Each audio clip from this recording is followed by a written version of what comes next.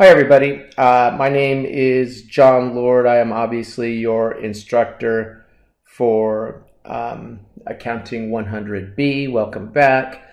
Um, what we're going to do in this lecture is talk about the chapter 10 slides. Okay, so notice that down here we have chapter 10. I'm going to post the lecture up here.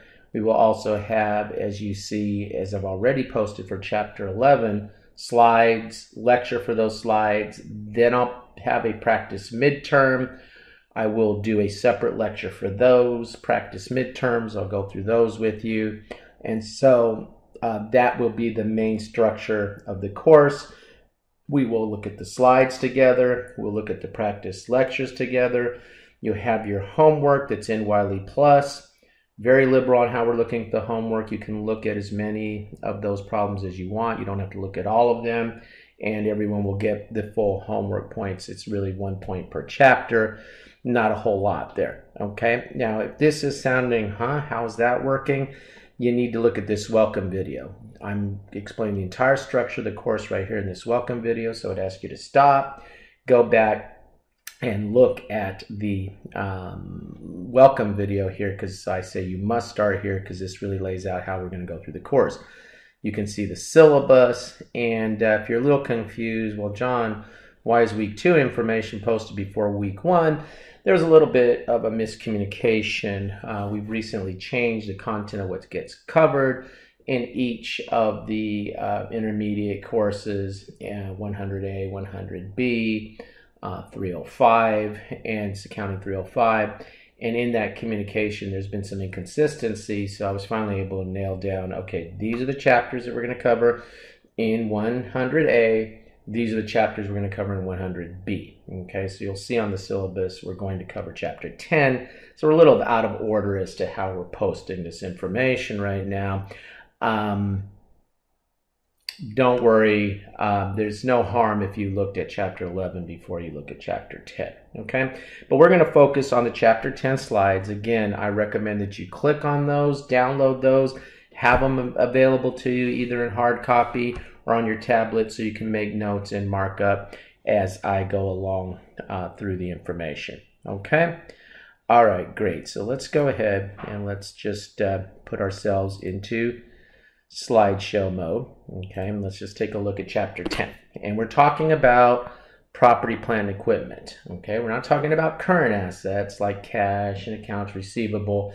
Now we're talking about our long term fixed assets, property, our factory building, whatever, um, our, our land, I should say, plant, our factory building equipment, equipment that we might be using in our factory, etc. Right? Okay, so when you take a look, we're going to be identifying um, what constitutes property, plant, and equipment and uh, the related costs associated with that. And we're going to see that for the most part, we carry our property, plant, and equipment at historical cost. However, there are, if there's an impairment, as we talked about in chapter 11, we will write our assets down below that historical cost. Okay, we're going to be talking about interest capitalization. We're going to see that if we have a qualifying asset, if we're incurring interest associated with the construction of that asset, they will allow us to capitalize construction period interest. Okay, uh, we're also going to talk about how will we uh, value our property, plant, equipment. Again, historical cost, but we would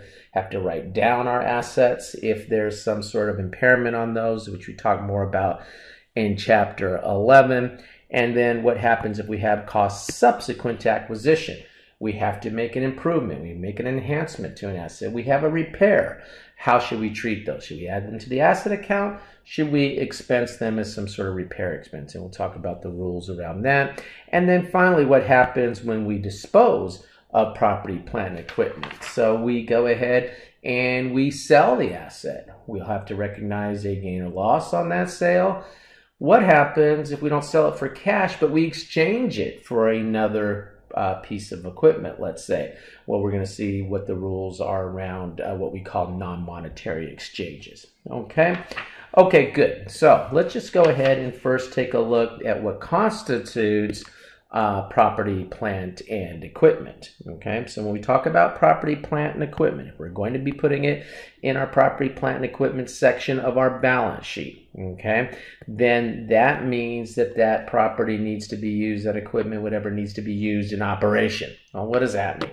Well, that means that if we have, say, a piece of land and we're holding that land, or we buy a building and we're holding that building in a speculative manner, we're going to flip it, right? We're going to see if the value of that thing goes up, and then we're going to want to sell it at some point. Well, then we have a separate category on the balance sheet called investment property.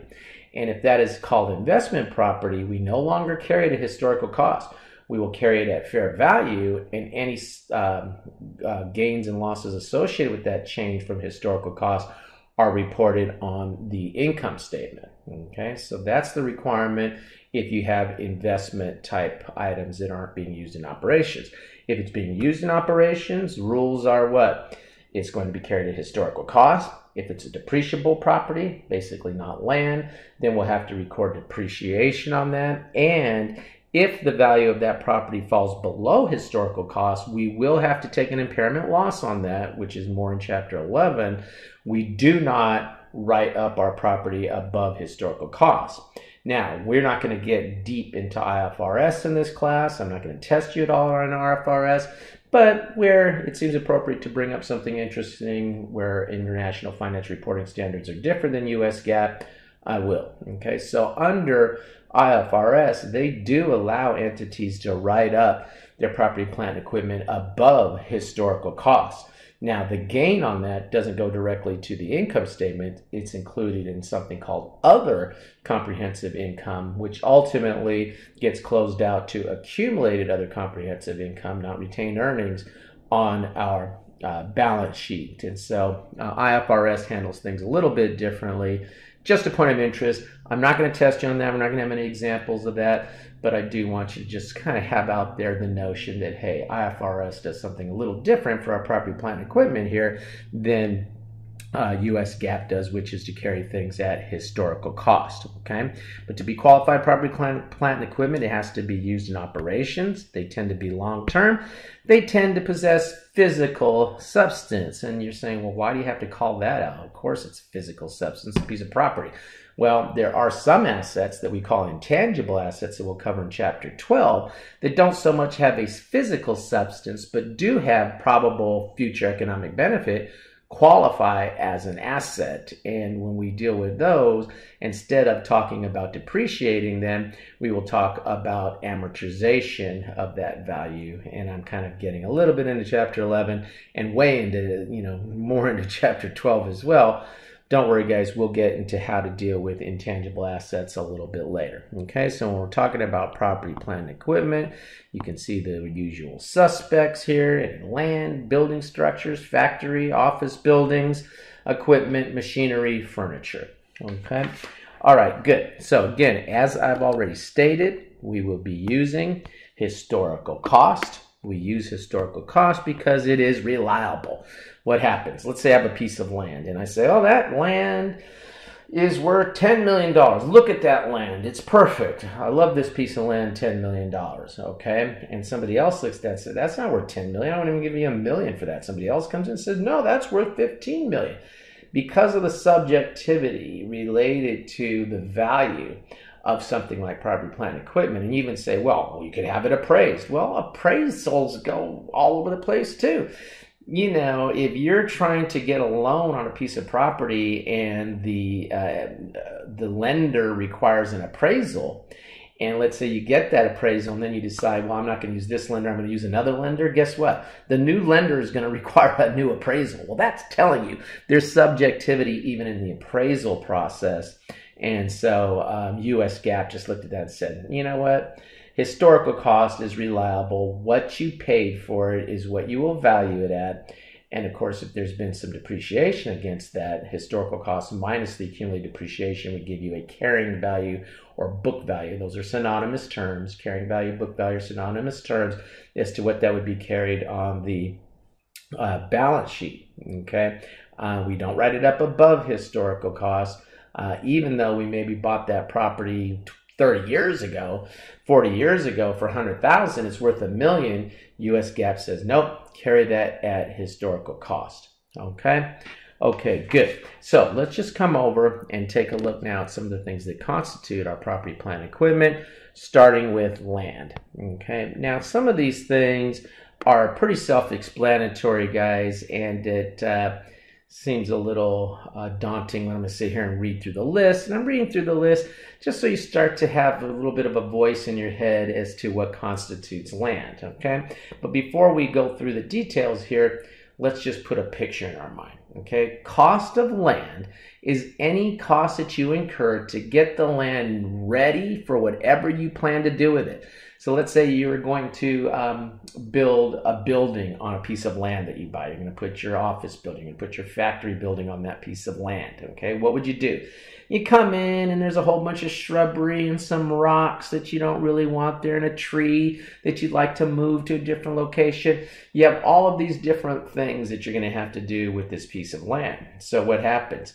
Any cost associated with clearing that land so you can get it nice and flat so you can begin to do what you want to to put a building let's say on there that's part of the cost of the land okay? Let's say there's an old structure sitting on that land. You're like you know i'm just going to get rid of that old structure. I don't need that shack sitting there anymore. I'm just going to knock that thing down. The cost of tearing down that shack would be part of the cost of the land. Okay, so anything you have to do to clear that land, to get it ready for whatever your purposes are, is part of the cost of the land. Okay, let's just get that visual in there, kind of getting that land nice and flat so you can begin uh, building on it. Okay, maybe the you know the lot's kind of like this, and you're like, oh, that's not going to work for my purposes. I'm going to fill that in and I'm going to level it off so it's nice and flat so I can begin building on it, part of the cost of the land. Okay, so what do you have? You have the purchase price, closing costs, okay, have to pay fees for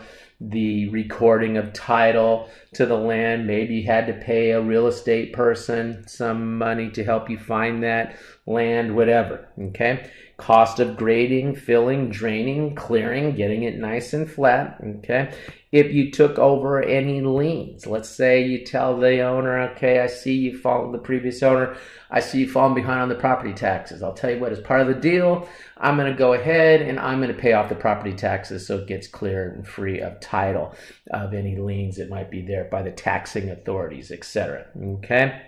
Any additional land improvements having an indefinite life. So what happens? Well, now you come in and you start planting some shrubberies and whatnot that you would want around your building. Those are part of the cost of the land. Why? Because they have an indefinite life, right? We're not going to sit there and say, well, you know, that tree only has a life of 300 years, so let's depreciate it. No, don't get into that nonsense. You're going to go ahead and you're going to uh, treat it as part of the cost of the land.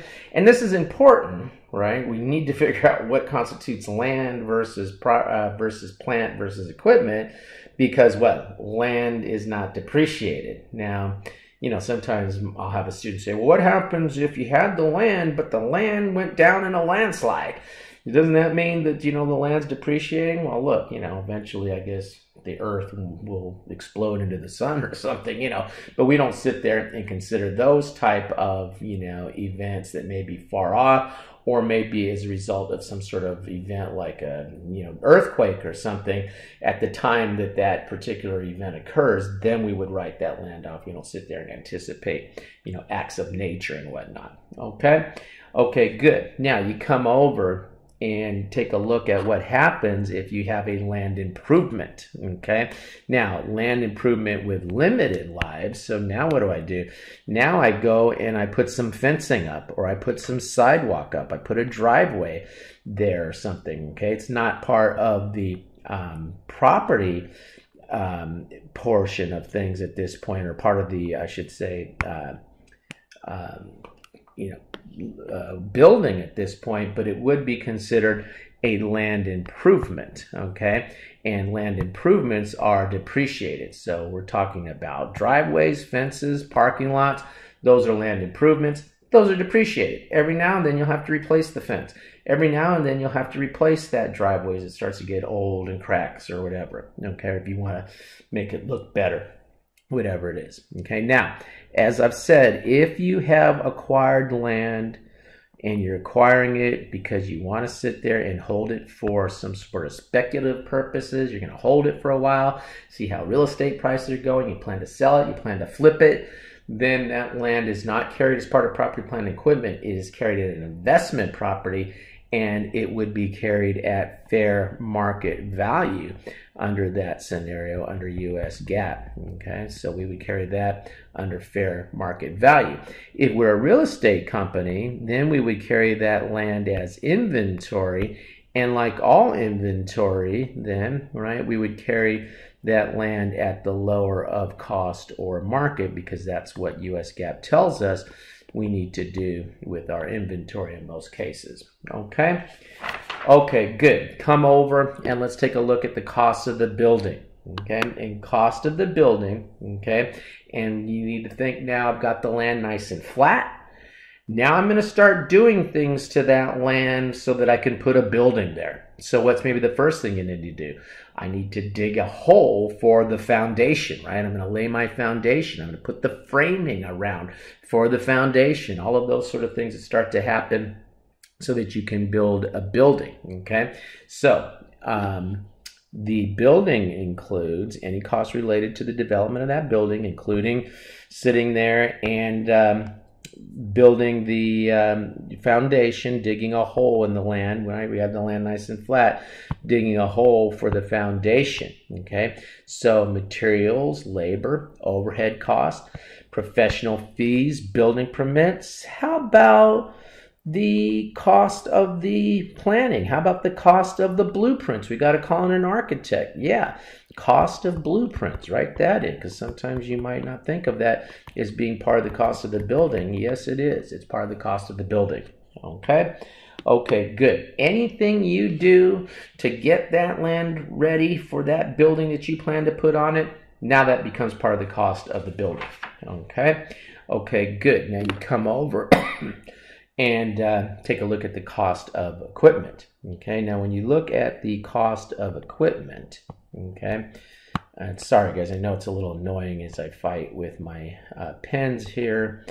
Um, I'm not sure why Microsoft doesn't give us a palette of colors that we can use here when we're in uh, slideshow mode. It seems logical that I would want to have a palette of colors there that I could just click in, but they hide that um, that uh, place where I'm supposed to get the colors and how you switch over from highlighter to pen and colors is a whole thing. Okay. But anyway, we go ahead and uh, so bear with me. Okay, guys. I know it's a little annoying, but we go through and we say that all expenditures associated with acquiring the equipment and preparing it for its use are costs that we'll include for equipment. So it sounds very similar to what we said about the building, right? Anything you got to do to get that land ready for the building, anything you do for the building is going to be what? Getting it getting it ready for that purpose, digging the hole for the foundation because that's related to the building, then that's going to be part of the cost of the building. Getting the land flat so that you can start the process of what you're going to do to build on it, which is part of the building, but getting the land nice and flat, that's part of the cost of the land. Okay, so we have what?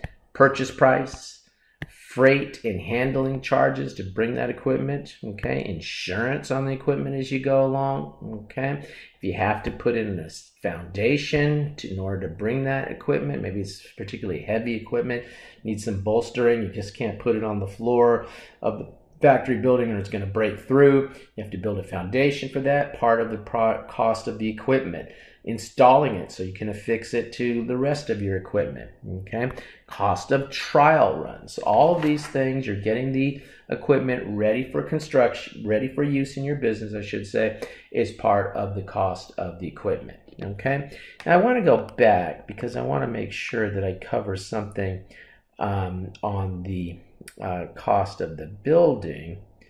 Uh, excuse me, the cost of the land. Um, and for some reason, I'm not seeing it here, so it might come up later, but I want to make clear that um, if we have to tear down, say, an old building, okay, the cost of tearing down that old building, part of the cost of the land because we're getting the land ready so we can start the process of the building. Okay, but let's say when we tear down that building, uh, we say, you know what?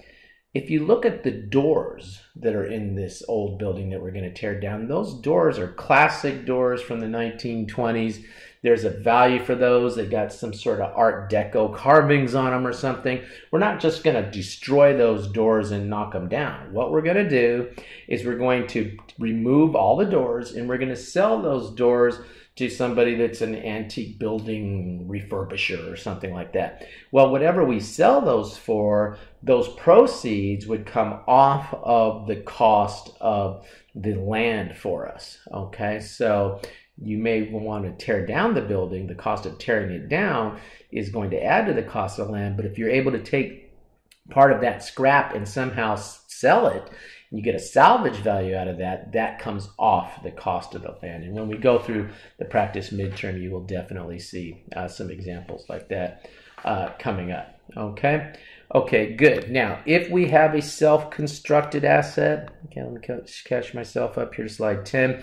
If you have a self-constructed asset, okay, um, we're going to see that includes our overhead costs and we will basically, in most cases, apply a portion of our overhead cost to the construction. Okay, so if we're allocating, say, a certain amount of our overhead, our um, indirect um, salaries, let's say, okay, and we have various projects going on, we might apply some of that overhead to say our inventory because we have indirect labor there. But some of that overhead would um, need to be allocated to the actual construction of something that we're using uh, of, of, something that we're constructing. And that would of course be capitalized as part of the part of the property plant and equipment account okay good now you come over and we take a look at um, how to handle uh, some of these costs and, you know, I'm just going to click through these here with you. Um, you know, this is a little bit of a funny exercise. You know, money borrowed. If you borrow money, debit cash, credit note payable. Okay. But let's just take a look. Payment uh, for the uh, construction from no proceeds. So I borrow a million dollars. I have the million dollars. I debit cash. I credit no payable. Now I got to uh, take that million dollars and start to pay my uh, construction workers, that sort of stuff, that's part of the building. Okay. Cost of land filling and clearing. We've talked about that being part of the land. We pay um, on delinquent taxes. That's part of the land. Okay. If we have to have uh, policy, insurance policy during construction, why are we having that insurance policy? For the construction to help us actually build the building, that becomes part of the cost of the building. Okay they give us a refund of some of the insurance that would be subtract off the building okay coming over and i'm going to go ahead and just i don't see that we need to create any mystery here okay driveway land improvement commission fee paid to the real estate agency that found us that land part of the cost of the land uh, fences, land improvements, cost of razing, tearing down the old building, part of the cost of the land, uh, cost of real estate purchase as part of the plant site, uh, land and building. Um, I'm not sure why they're just specifically calling that out here as a land. Um, well, if we're going to tear down the building, then yeah, the entire purchase price of 250,000, I guess in this case, would be uh, attributed to the land if we're going to tear down the building. If we're going to use the building, then we would be required to take that entire purchase price and allocate it accordingly to the land and building. We call that a basket purchase, and I'm going to show you an example here in a little while how you would handle basket purchase. So in this case, since we're attributing the entire purchase price um, of 250,000, that's all part of the land. Okay, and then uh, proceeds, there it is. I knew it was in there somewhere. Proceeds from the salvage value come off of the cost of the land. Okay, if we're able to sell those doors or whatever, you know, I don't know, something of value associated with the building that we're tearing down, we pull all those doors out, we put them off to the side, we sell them to a door dealer okay, um, that proceeds that come in would come off, would be subtract from the cost of the land. Okay, and so on. Okay, guys, uh, I don't think we need to kill ourselves going through uh, cost of trees, shrubbery. Those are considered more permanent. Those become part of the cost of the land. Okay, now again, just to make sure that we are um, clear on why this is important because you're like well why are we making such a big deal out of what's land what's property what's uh, plant like our factory building what's equipment because our what our property our plant and our equipment our plant and our equipment are not land assets will need to be depreciated land is not depreciated okay okay good let's go ahead and let's talk about interest capitalization Okay, now what happens here? We're going to borrow money. And we're going to use that money to allow us to construct a building that we're going to use for our um, our use in our uh, business in our operations. Okay. Well, um, we are allowed. GAAP allows us to capitalize the interest that we pay on that borrowing because we're constructing an asset that we're going to use in our operations. Let's say instead of borrowing the money to construct assets that we're going to use in our operations, let's say we borrow money to construct an asset like a cruise ship. We're going to sell that cruise ship to I don't know, Royal Caribbean. We're a shipbuilder. We're going to sell it to one of these cruise ship people. We're going to sell the ship to military, to the Navy or something like that. And we borrow the money to allow us to construct that specific to the contract of the buyer, the cruise company, the military, whatever it is. Under those circumstances, then we can capitalize that interest. Now, that is different than if we were to borrow money so that we can construct inventory of homogeneous items like pens so that then we have inventory that we can sell to different you know stores that sell pens and whatnot. That kind of borrowing on routine manufacturing, eh, you cannot capitalize the interest. Okay, so it has to be a specific special construction contract in order for us to be able to capitalize the uh, interest on that. Okay, so let's just go ahead and let's take a look at uh, how this area works and what some of the key points are. Now, you start out and GAAP requires that you capitalize the interest, okay? That you capitalize that interest. And we're going to be seeing how they will, uh, the, the rules that they give us as to how we'll determine how much interest to capitalize, okay? Now, you come over, and again, the two types of assets where we can consider capitalizing interest is assets under construction for the company's own use. We're going to be building our factory building, building our office buildings. We borrow the money since we're going to be using that in our operations, we can capitalize the interest on that following the rules that we're about to go through here in a couple of seconds.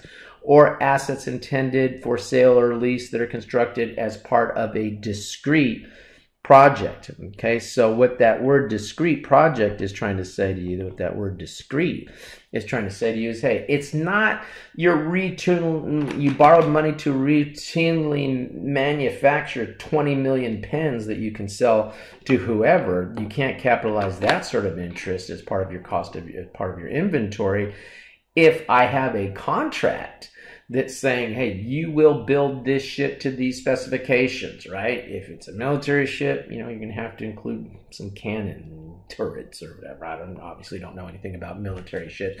If it's a, a cruise ship, you need to build a beautiful dining room in the middle of that and a dance floor, whatever. Okay. So it's going to be different depending on the specific contract. You borrow money under those circumstances to construct that asset that's being made specifically to the specifications of the purchaser. Yeah. Okay. Now you can capitalize the interest uh, associated with that construction. Okay. So that's what, that's the qualifying assets right there. That's the qualifying assets that you see right there. Okay, go back to highlighter. Okay, give me yellow. Okay, that's the qualifying assets right there. But when can we start to capitalize this interest? Okay, and the answer is it begins when expenditures for the assets have been made, activities readying the asset uh, are in progress and interest costs are being incurred. So, what does that mean? Well, it means you have to have borrowed the money. And, you know, when you borrow money, interest starts running from the moment you borrow it, right? Okay. And so the cost of borrowing money is interest, right? You borrow money, interest is running immediately. Okay. So the interest costs are being incurred, meaning essentially you borrowed the money. Activities for readying the asset are in progress. So it doesn't mean that you have to actually be hammering nails or digging things. It means that you are doing things like getting permits to allow you to build on that land, going through inspections that allow you to build on the land, making the blueprints, etc. And then, of course, as what as you um, start to actually build that asset, okay, then you're sitting there and you are, um, you know, incurring uh, the cost to um, to build that asset, to construct that asset. Okay, so let's just kind of think about this for a second. So let's say I buy a piece of land. Okay, I borrow some money, I buy a piece of land, and I'm going. I'm thinking, okay, I'm either going to um, I, don't know what I'm going to do with this land. I borrowed money. I'm incurring the interest. Okay. I borrowed the money. I'm incurring the interest, but I'm not sure what I want to do with this land. Okay. And one of the things I may do is I may go ahead and build something on it, construct my office building on it, but I haven't decided. Okay. Well, the interest that I'm incurring while I'm making up my mind as to whether I'm going to construct an asset for use by the company, I can't capitalize that interest during that time. Okay. Let's say six months go by, and now I say, okay, yeah, I'm going to use that land to um, to uh, build my office building, right? And I start applying for permits and whatnot. So now what happens? Now I am now making expenditures, right, towards the uh, getting that ready for the purpose of building, constructing an asset that I'm going to use for my personal use, for the company's use, right? Um, activities are in progress. I'm applying for permits and whatnot. I've already, for the first six months, was incurring interest costs. So I'm incurring interest costs. So now, instead of expensing interest, any interest that's incurred from that point forward would now start to be interest that would be capitalized as part of the cost of the building. Okay. Now it ends when the asset is substantially complete and ready for use. So what happens?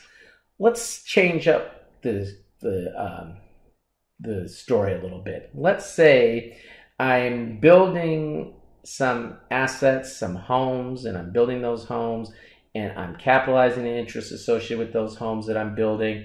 And then all of a sudden, I finish the homes, and I have, say, a couple of them that are sitting there as standing inventory, right? And at that point, I'm waiting to see what's going to happen if the market's going to improve and whatnot. And those houses are just sitting there and they're not sold yet. I have to stop capitalizing the interest because I'm no longer making expenditures to complete that project. Okay, I'm sitting there and I've built um, a condo. Okay, and I've built that condo, and some of the floors um, are are um, sold, and some of the other floors are still sitting unsold. What happens? I can no longer capitalize the interest on that project because I have finished the construction. Okay, so it goes long as long as these three factors are being encountered.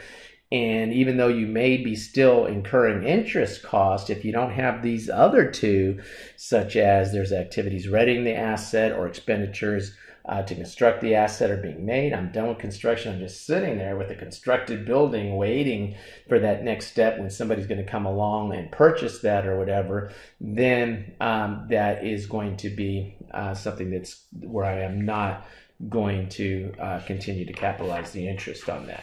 Okay. Okay, now how much should be capitalized? All right, and it's the lesser of the actual interest cost or avoidable interest. Now, when we talk about avoidable interest, it's the interest that would be uh, incurred would would not have been incurred if I wasn't actually involved in constructing this asset and had borrowed money to construct that asset. Okay, so what that means is as we go through, we're going to have to go through a series of steps, and we're going to go through those steps together here and using this fact pattern that you see on the screen for you now, and we'll continue through this uh, example. And I think all of these rules, which maybe seem a little difficult to understand right now, will be very clear to you as we go through this example. Okay, so don't worry, this stuff is not that hard. Okay, so first thing, do we have a qualifying asset? Are we constructing the asset under contract or for our, um, for you know, to, to specific specifications? That's kind of redundant. I'm not going to get a Pulitzer Prize for that. Uh, to to unique specifications. Okay, let's say it that way. Am I constructing it according to unique specifications or am I constructing it for my own use and operations? That's the qualifying asset. Okay, then what? Are activities going on? Okay, second point, are activities going on that will allow me to capitalize that interest? Are the activities? Interest has to be being incurred. I have to be starting to prepare that asset for the construction. So things like blueprint and uh, inspections will count. And I'm making expect, uh, expenditures to actually construct that asset. Now I'm starting to pay for workmen and equipment and that and whatnot to uh, allow me to actually build that thing. Now I can start capitalizing the interest. Okay. Now once I have met those three requirements, right, then I can sit there and say, okay, uh, I have activities going on. I have a qualifying asset. I have the qualify the activities going on. So once that starts, now I can start treating any interest that's accrued during that time as part of the cost of the asset. I'm going to capitalize that interest. What I'm going to do is I'm going to have to look at the interest rate associated with that specific borrowing. So as you look at our practice midterm questions, you're going to have to get used to pulling out the interest rate that is quoted for the specific borrowing related to that project. I will apply that interest to something called the weighted average of accumulated expenditures. That will be the minimum amount. That will be, I know I'm going to have to pick up at least that much interest. I'm going to calculate the amount of interest that I'm going to capitalize doing that. Now, what happens if my weighted average of accumulated expenditures exceeds the amount of borrowing specifically related to that project? Well, I have to add on some more interest onto that, okay, based on the uh, average borrowing of all other borrowings of the company. So I may have to make an adjustment to applying the specific interest rate related to that borrowing to my uh, weighted average of cumulative expenditures if my weighted average of accumulated uh, for that amount of borrowing up to the amount of borrowing if my weighted average of accumulated expenditures exceeds that then i have to sit there and apply uh, additional uh, interest rate which be the average bar- of all other borrowings of the company then i need to once i've done that then i need to look and see if the amount that I've just calculated is more than the overall interest of the company, then I'm capped at that overall interest. If it's less, then I'll take that entire amount. Okay. Now, I know you're sitting there saying, huh? Hang on, guys. Let's look at the example. I'm just giving you a, a overview of where we're going so we can start to look at some of this information here and see what we know we're going to have to pick up. Okay. So company borrowed what? 200,000 at 12% interest. Okay, now I'm highlighting that because now I know the interest rate associated with that and I know the specific borrowing related to this project. Okay, I borrowed 200,000 for the specific purpose, and I borrowed that on January 1st for the specific purpose of constructing special purpose equipment to be used in operations. Okay, qualifying asset. All right, construction of the equipment began on January 1st. Okay, activities started simultaneously with the borrowing. If activities came later than the borrowing, then I would only be able to capitalize interest after those activities began. But the activities began and they start to tell me now what the expenditures are through December 31st, 2020. Okay. And they tell me what the expenditures are, and we're going to use this information to help us calculate the weighted average of accumulated expenditures. Okay, so I'm just going to put a little note up there. Okay, use to calculate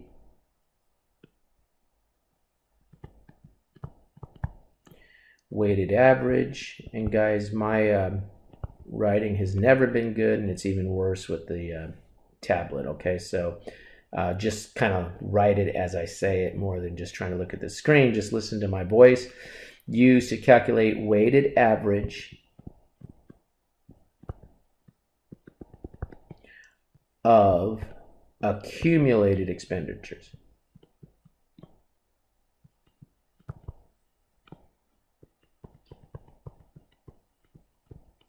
Okay. Okay, good. That's the information right here we're going to use for that. Okay, now we know we have the 12%. What happens if the weighted average of accumulated expenditures is more than 200,000? Well, then we're going to have to calculate an interest rate associated with all other borrowing of the company, and we'll use that interest rate to apply to amounts that are in excess of the 200,000, assuming my weighted average of accumulated expenditures exceeded the 200,000. We'll use that interest rate to figure out the amount of interest to capitalize on this project over and above the specific borrowing, the 200,000. Hang on, guys, don't panic. Let's start to take a look, okay? So again, this is a qualifying asset, right? It's uh, special purpose equipment, whatever. Determine the capitalization period begins January 1st, okay? Okay, good. Weighted average of accumulated expenditures. And what we do is we figure out how long the expenditures were outstanding. So we had what? We had uh, actual expenditures during 2020, 100,000 and then we went ahead and we spent another 150,000 so the 100,000 was outstanding the entire time.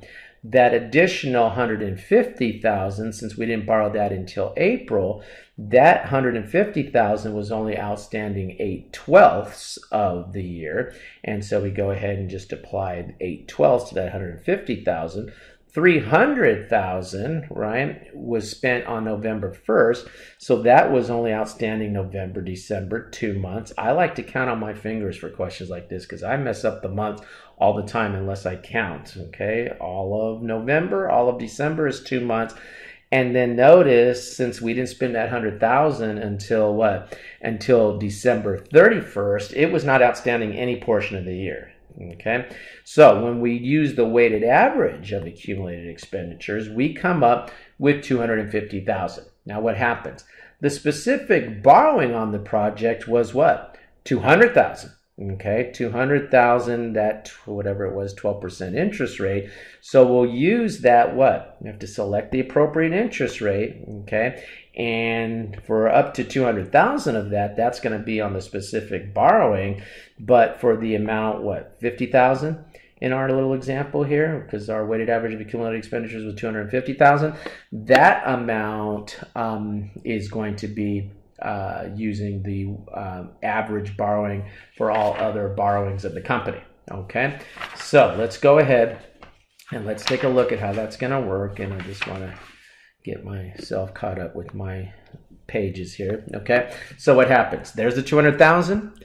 The specific borrowing, remember on that project was 12%. That's 24,000, right? But what happens? We had 250,000. So what interest rate should we apply to that excess over the weighted average over the the amount of weighted average of accumulated expenditures in excess of the specific borrowing the 200,000, that 50,000 right there, right? That's for the specific borrowing right there, that 50,000. What interest rate should we use? Well, the problem told us that they had what? They had 500,000 on other borrowings of the company. We're calling general debt there. And it was 14%. These interest rates seem a little high. It was 14% compared to current interest rates. But anyway, stop, John. That's not important here. 14% for what? For our uh, 500,000 of borrowing and 10% for the 300,000. So that means that we have interest, right, of 100,000 on what? On borrowings here of 800,000. Okay, we're just picking up those numbers. Okay, and so what happens? We take that 100,000, the interest divided by the amount borrowed that that interest rate was uh, incurred on, accrued on, that's that 800,000. And so we end up with what? 12.5% is the average interest rate for other borrowings of the company. We apply that interest rate to the amount of weighted average of accumulated expenditure in excess of the 200,000. We add those two numbers together. That's the amount of interest we're thinking of capitalizing here. However, our final step is we can't capitalize more interest than our actual interest cost. And so when we go ahead and we compare our actual interest, which is what? It's the 24,000 on the borrowing plus the 100,000 on all other borrowing, right? That's where we get the 124.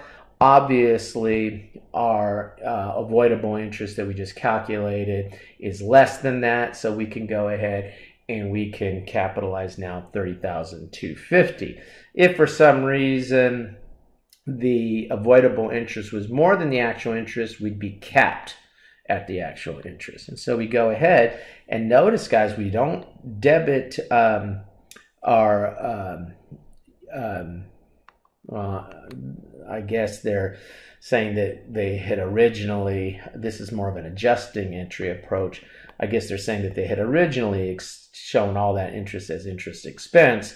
We're adjusting that, taking it out of interest expense and going ahead and putting that in the equipment account, thus capitalizing the equipment. So this would be more of an adjusting entry. Hey, you put everything in interest expenses and incurred, but by year end, a CPA would come in probably and have to do all this, decide, you know, how much is supposed to go to the equipment account. Or maybe the company does that themselves, um, or sometimes CPAs will come in and ask for an adjustment.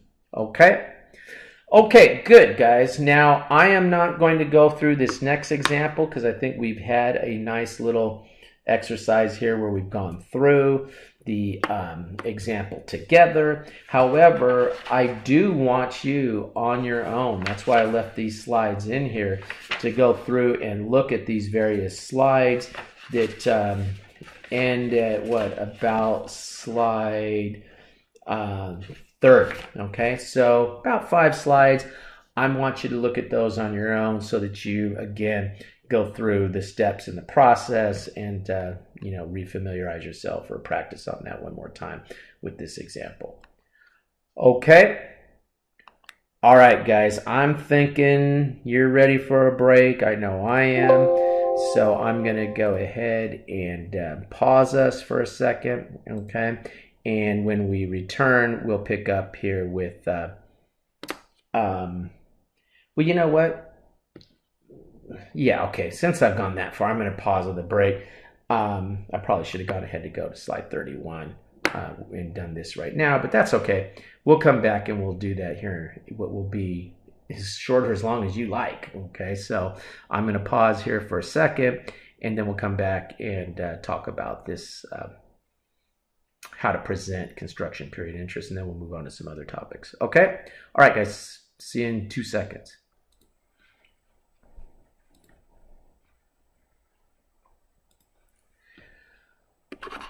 Okay, guys, let's go ahead and um, just wrap up our discussion of uh, capitalizing construction period interest. And um, note that this presentation that they're providing here uh, could be provided on the uh, face of the income statement, which is sort of what they're um, contemplating here, that this is how it would look on the face of the income statement. Um, most likely, um, you'd probably see this more in the notes. I don't think they're going to muddy up their income statement with all this. But um, you can see, and I think I understand now why they first had uh, debited interest expense for the entire interest and then credited interest expense and debited the uh, asset that they were constructing in the journal entry we saw earlier because you would want to report your total interest expense and then back off the amount that was associated with the capitalized interest um, so that you get you know the amount of uh, actual interest that was expensed on the income statement um, net and then uh, go from there. Again, this is contemplating a presentation that uh, if they showed it on the face of the income statement. But uh, basically, you have to uh, disclose the amount of interest capitalized either on the income statement on the notes, but that's got to be disclosed. Okay, presented somewhere. Okay, all right, good. Um, I'm going to go ahead and let you look at some of these special issues on your own. Um, well, let's look at them. That's okay. It, uh, we'll look at them together. Uh, if the company purchased land as a site for a structure, interest costs capitalized are part of the cost of the plant, uh, not the land. Okay. Conversely, if the company develops lands for lot sales and includes any capitalized interest as part of the acquisition cost of the uh, developed land because they're developing that land. Okay. Um, and then finally, uh, interest revenue. Um, company should not offset interest revenue against interest cost. Okay, so some self explanatory sort of things there uh, that wraps up our discussion of capitalizing interest. Now, what we're going to do at this point is turn our attention now to what we will do when we are acquiring assets, and then we'll get into disposal of these assets here in a little while. Okay, so let's just take a look. And um, again, companies will report property, plant, plant and equipment at the fair value for what they're giving up. Okay, or at the fair value of the asset received, whichever is more clearly evident. Okay, now that's important whichever is more clearly evident. Okay, so what happens? Let's say we issue stock in exchange for um, what we have given up. Okay, so we issue some stock and we get the asset that received. Well, which one has a more clearly evident value? Well, if we're sitting there and our stock is traded, then we have what? We have the agreement, whatever the stock price is at the end of the year if we're dealing with a stock that isn't traded, well, then maybe the asset that we're acquiring has a more uh, evident uh, value. So we'd have to look at um, either the fair value of what we've given up or the fair value of the asset received. Again, whichever is more clearly evident. And you'd pretty much be able to see that from the construct of any question I would give you, where they'll make it clear which one will make it clear which one is more clearly evident from the language of the question. We don't expect you to sit there and pull out of the sky which one is more clearly evident. The the question that I would give you would call that out specifically. Okay? Okay, good. Now when we consider the value, of course, if we get a discount because we pay that early, that discount would come off of the uh, invoice price for that particular item, right? So you, you pay in 210 net 30. If we get a cash discount, we would need to consider that. Okay. Uh, deferred payment contracts. Okay. Asset purchase on a long term credit contract at present value of the consideration exchanged. Okay. Now, we talk about um, the um, uh, lump sum purchase, often referred to as a basket purchase. Okay, so let's just put in, and I'm going to give you a little example here. We kind of alluded to this example earlier, but let's say, okay, I'm just going to squeeze in an example right here. Okay, it's not related to deferred payment, but I'm just going to co op some of this space up here where this whole thing that I'm going to be using, I'm just going to carve off this space right here, okay, is for our discussion here of, um, looks like I limited myself too much.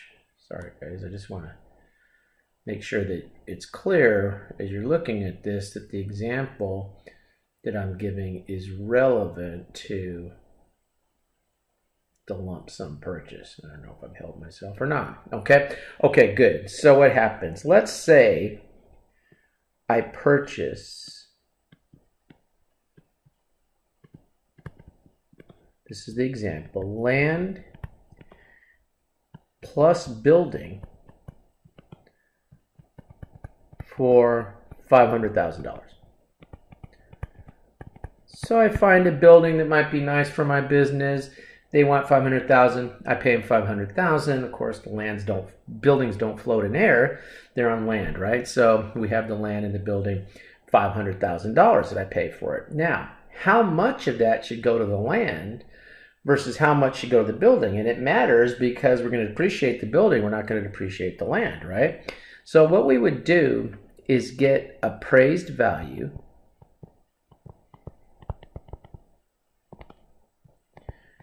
okay. And we would get appraised value of the land. And let's say the appraised value of the land is a hundred thousand. Okay. And then we would get an appraised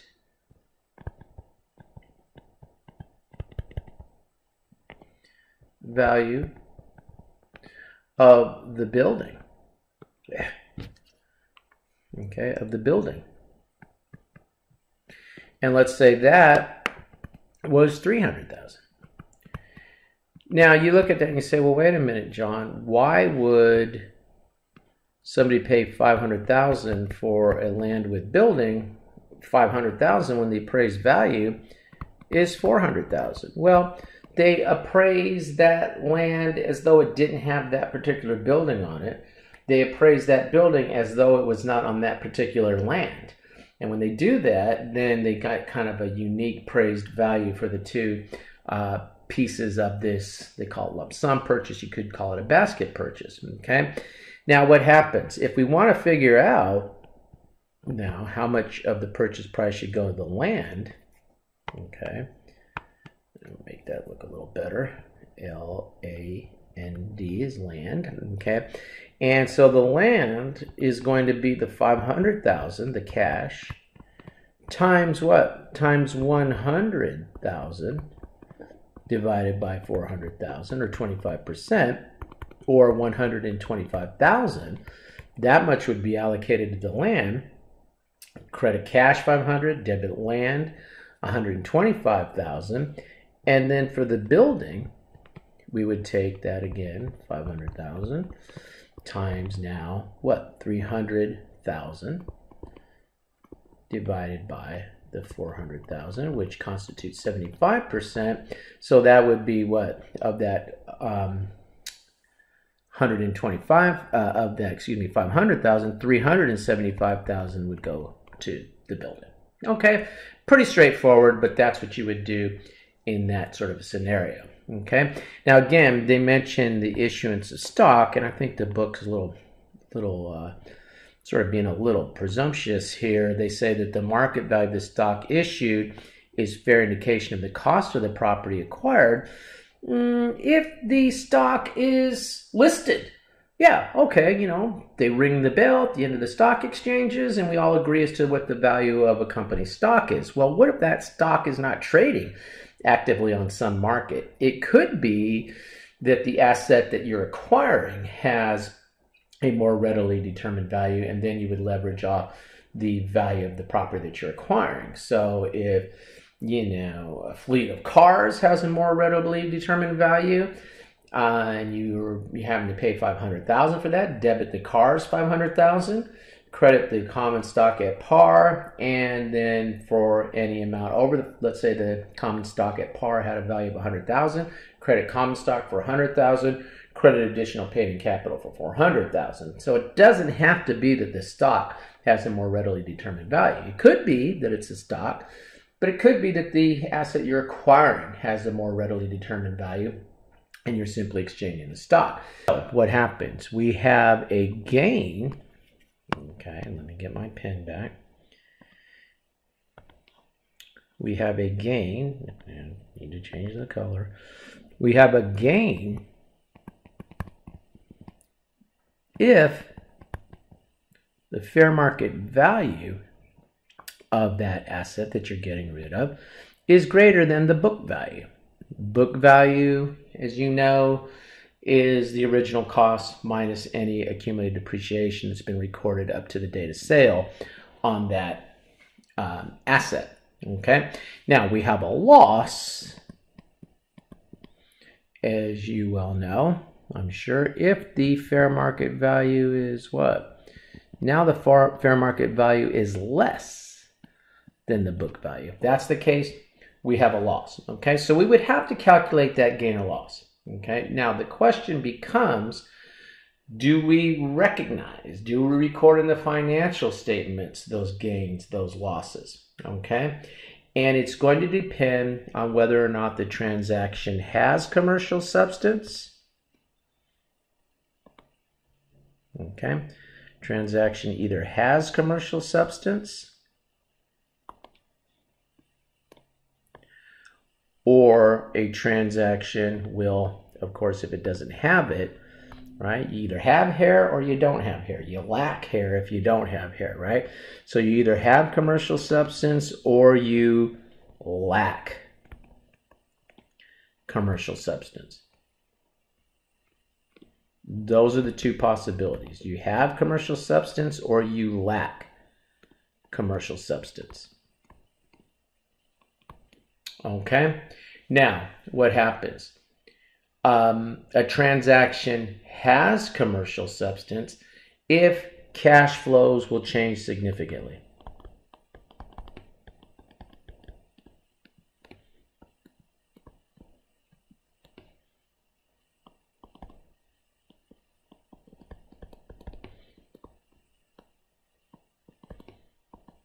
As a result of the transaction. If cash flows change significantly as a result of the transaction, that transaction is determined by US GAAP to have commercial substance. So let's go back to our example. We're trading what? We're trading cars for a building. Well, the cash flow that you generate off of a fleet of cars is going to be different than the cash flows that you would generate from a building, right? Building might have a 50 year life, cars, maybe three year life or something. So the cash flows are probably going to change significantly. That transaction would have would probably have commercial substance. Now, just looking at this from a testing standpoint, how I'm going to test you on this, I will either tell you that the transaction has or lacks commercial substance in a question, or I will say cash flows are going to change significantly. That means the transaction has commercial substance. Or I'll tell you cash flows are not going to change significantly, meaning that transaction lacks commercial substance. Okay? So, what happened? We have a transaction that has commercial substance, lacks commercial substance, right? Now, this is how the rules work because remember, we started out this thing talking about hey, you got to calculate gains and losses. Okay? Always take losses. Always take losses. I'm going to be annoying here. I'm going to say it three times. Always take losses. I don't care if it's a monetary transaction, non monetary transaction. I don't care if the transaction has commercial substance or lacks commercial substance. Always take losses. Rule of conservatism always wins. And to be more conservative, we always take losses immediately. Okay, so you don't care. If I tell you it's a loss situation, you're going to take the loss, okay, whether the transaction has commercial substance or not. Now, what we're going to see is well, then you're saying, okay, got it. We have a non monetary transaction, we're giving up an asset. We have to calculate the gain or loss. Have a loss, I got to take the loss whether the transaction has commercial substance or not. What about gains? Okay, so how we handle gains? If the transaction has commercial substance, then we are going to take the gain. Okay, pretty easy there too. Take the losses, take the gains if the transaction has commercial substance. If the transaction lacks commercial substance, always take the losses, but what do we do in the gain situation? Okay, and now it starts to depend on how cash is involved in that transaction. If there's no cash involved in the non monetary transaction that lacks commercial substance, nobody recognizes a gain. No gains. Nobody recognizes any gains because there's no cash. Okay?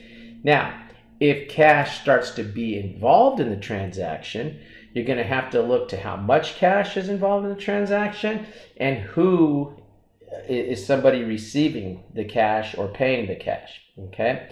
So, let's deal first with the situation that the cash is considered a small part of the transaction. What do we mean by small? If the amount of cash constitutes less than 25% of the overall consideration, and we're in a lacking commercial substance situation, the entity receiving cash will take a portion of that gain. And the portion of that gain is going to be constituted by how much of the cash, cash in the numerator, constitutes of the entire fair market value of the transaction, cash plus the fair market value of whatever else was involved in that transaction in the denominator. And if that percentage is less than 25%, then the person receiving the cash, the entity receiving the cash, will only take that portion of the gain. How do we calculate gain? Fair market value is um, more than the book value, right? We'd only take a portion of that gain.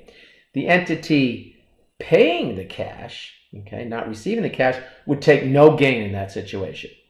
That's when the cash constitutes less than 25% of the total consideration. When the cash starts to constitute 25% or more of the total consideration, then both the entity paying the cash and receiving the cash will take the entire gain, 100% of the gain. Okay? All right, now I'm saying that to you, and you're like, okay, can you show me that in writing somewhere? And so let's just go ahead and let's take a look. Um, sorry, guys, I can catch up my slides here. Let's take a look at the next slide now, where we start to look at um, transactions and how we will handle them based on this issue of commercial substance. Okay, so again, as I had uh, I think, written on that previous slide, but let's just look at it here. Exchange has commercial substance if future cash flows change as a result of the transaction. Okay. Now, if the cash flows don't change significantly, then what? Then we lack commercial substance. We either have commercial substance or we lack it. You either have hair or you lack hair, right? Okay. Now, what happens? Okay. Uh, oh, by the way, an interesting thing about IFRS. IFRS sticks with this idea of similar or dissimilar assets. So if we have similar assets, then uh, IFRS says, hey, that transaction, you should take the gain. Uh, you should, if we have dissimilar assets, like my example, cars for a building, then you go ahead and you're going to take the full gain. We'll treat it as though it has commercial substance. IFRS says that if it's similar assets, treated as though it lacks commercial substance. But that's IFRS. I'm going to tell you. I'm not going to leave you guessing. Okay? I'm going to either tell you the transaction has or lacks commercial substance. I'm going to either tell you that the cash flows will change or won't change significantly. Change significantly has commercial substance. Won't change significantly lacks commercial substance. Okay? Now, let's just go ahead and uh, take a look at the table here, okay?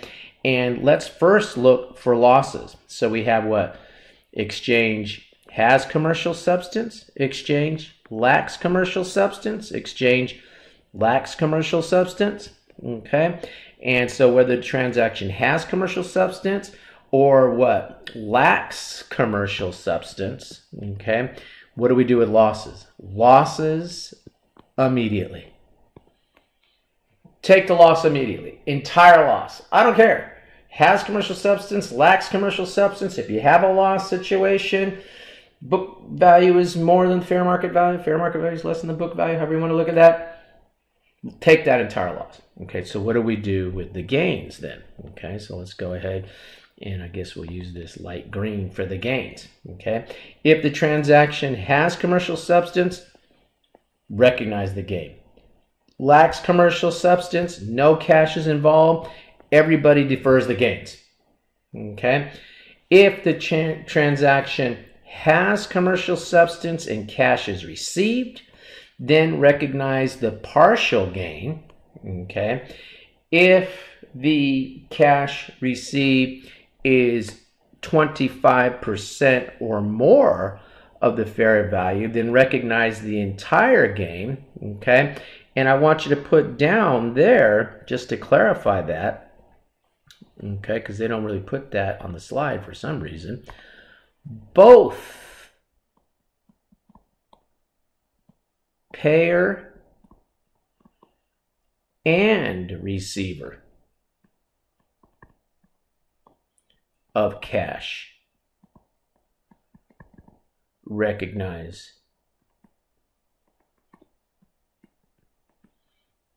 entire gain. Okay? All right, so that so let's just look at that situation again. No cash received, no cash. Let's just put instead of no cash received, just put no cash involved there. I think is a little better. There's no cash involved in the transaction. Then what? Defer the gain. Defer the entire gain. Don't recognize it. Okay. Now what happens if you're sitting there and cash uh, is involved, right? And the cash constitutes less than 25% of the t- total consideration, then the entity receiving the cash will take what? Will take a partial gain. Okay. The entity what? The entity paying the cash what? Will not take any gain.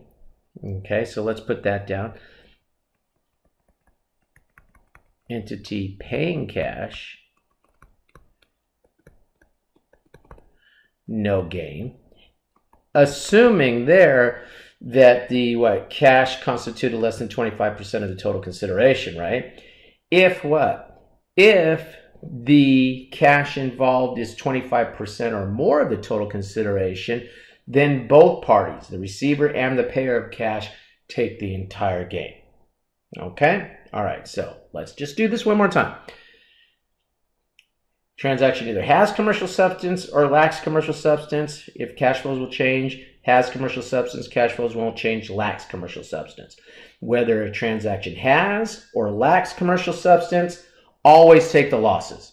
That's it. Losses are always taken regardless. Okay? Transaction what? transaction has commercial substance, okay, then what? If no cash is involved, nobody takes any gains, right? If, when we have a gain situation, right? You always take losses, but if cash, no cash is involved, then what? Then in transaction now, uh, transaction has commercial substance and uh, cash is involved, take the gain. But if the transaction lacks commercial substance and what? No cash is involved, nobody takes any gains. Defer the gains. If cash is involved and the cash constitutes less than 25% of the total consideration, then only the receiver of the cash will take, and they will only take a portion of that gain. Whereas if I'm the entity that's paying cash in that situation, I won't take any gain. If the cash constitutes 25% or more of the total consideration, both parties take the entire gain. Okay? All right, so let's go ahead and let's just take a look now at a couple of uh, questions here, a couple of uh, examples here. And again, I think we've said this uh, now to where you're probably sick of it. What do we do with losses? Rule of conservatism says always take the entire loss immediately. Okay? Always recognize loss, the entire loss. Okay? But let's see what happens if we have a loss situation here, or let's see how it looks in an example. When we have a loss situation, and uh, you can see that uh, we've got this companies here and they're involving in a non-monetary transaction and so I want to turn this to yellow okay so a used machine has a book value of 8000 original cost of 12 minus 4000 accumulated depreciation and a fair value of 8 okay so you know you've got a loss situation here right off the gate because what We've got fair value of six, book value of eight. We know we're going to have to take that entire loss of 2000. We know that, okay? Now, these give us some additional information because we're going to be looking at the entire journal entry for this situation. The new model lists for 16 and I'm going to get a trade-in allowance for my old machine of nine and um, they give me some information down here which um, they're basically doing all this so I know what to debit to bring on this new piece of machinery that I'm getting. I'm going to have to debit equipment. Now, I don't like the approach that they take here. I like to take an approach, okay, that I'm going to show you that helps me because I just have to remember how to do this every time and I do it the same the same every time regardless, okay? So to the the amount to bring on for the new machine, whatever this thing is, cost of new machine. Okay, you could call this John's way, whatever, but I just think this is the way to do it. Is I always look at, I take book value of assets surrendered, book value of assets surrendered, plus any gain recognized. This is obviously a loss example, but if it was a gain, I would add the gain or minus any loss, which is what we have in this situation. Okay, so let's just look at that approach. Book value of assets surrendered and the book value of the machine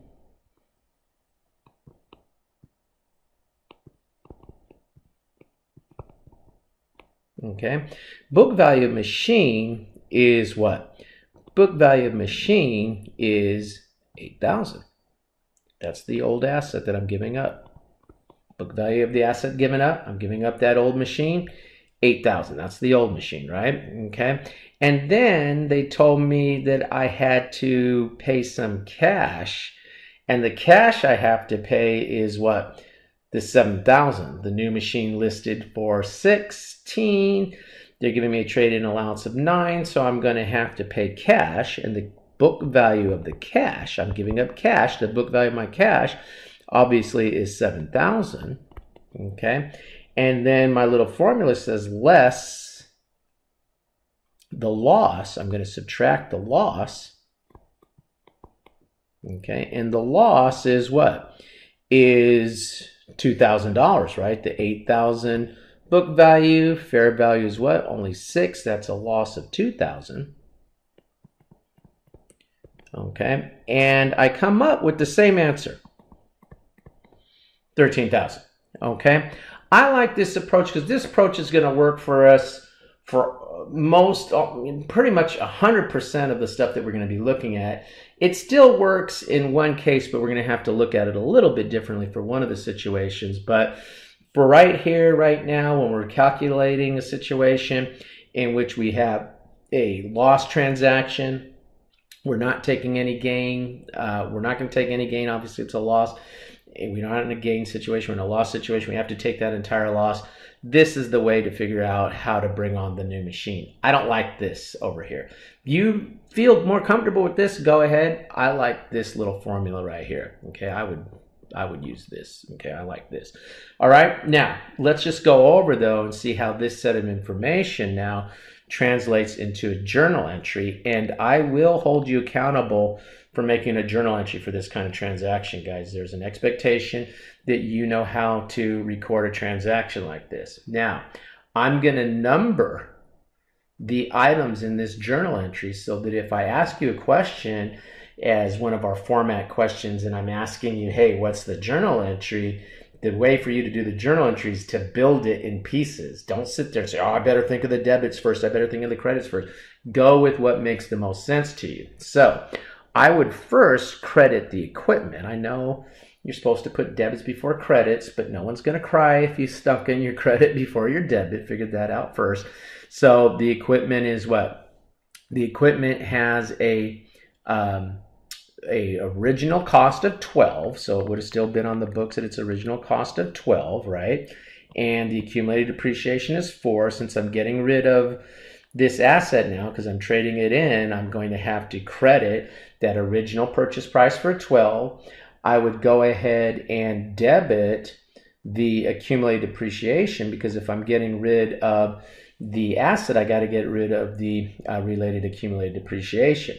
The third thing I would do, hey, we know our cash. If I'm paying cash, I got to credit cash for 7,000. I know that. I've calculated the loss. Again, the fair market value is less than the book value. That's a loss. I know I have to take that entire loss, so I debit the loss. And then the fifth line of this journal entry is what I bring the equipment on. I just showed you how to calculate that. But even if you got stuck and you couldn't figure it out from a fact pattern like this to do it the way I described to you here, I think you should use this approach. You could, of course, it may not be the most efficient way to get the answer. You could put together the easy piece of pieces of that journal entry, and the last thing, the fifth line there that I'm talking about, could be something that just makes that journal entry balance. Okay?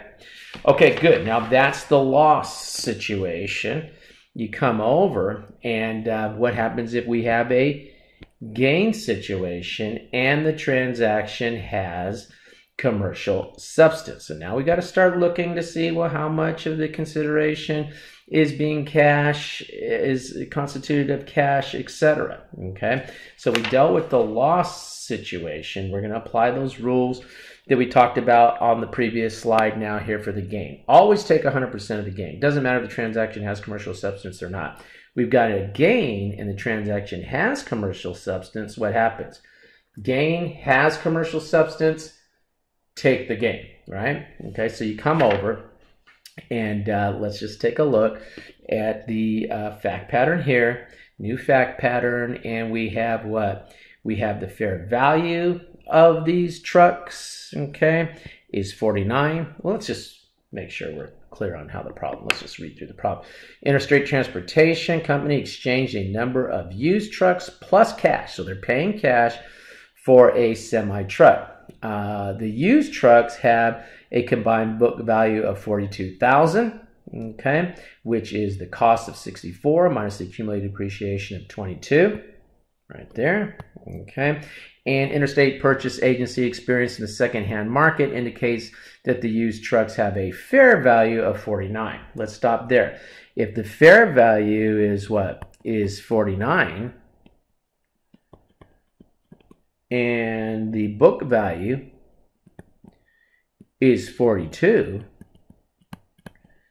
then we've got what? We've got a gain, right? Book value is more, uh, fair value is more than the book value. We've got a gain of 7,000, don't we? Okay. How much of that gain are we going to take? Transaction has commercial substance. Take the entire gain. Okay. All right. Good. Now you come over and they tell us that we must pay 11,000 cash for the uh, semi truck. So we're going to have to give up those old trucks we're going to have to pay some cash of 11,000. They give us the new truck. Okay. Now, the question is first, what should we bring? We've calculated the gain. That was first. But what should we bring the new truck on? And remember, my rule is what? Book value of the assets surrendered, right?